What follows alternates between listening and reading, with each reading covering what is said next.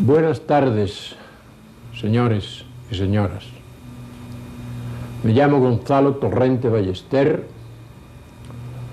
Nací el 13 de junio de 1910 en el Valle de Serantes, al lado mismo de Ferrol, ciudad en la que viví bastantes años de mi vida y a la que debo las características que distinguen a los ferrolanos del resto de los gallegos. Y que pudiéramos resumir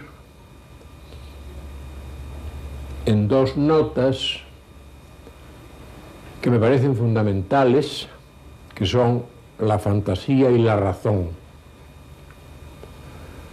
Llevado de la fantasía fui escritor, llevado de la razón fui profesor, como profesor contaminé la razón de la fantasía y como escritor contaminé la fantasía de la razón.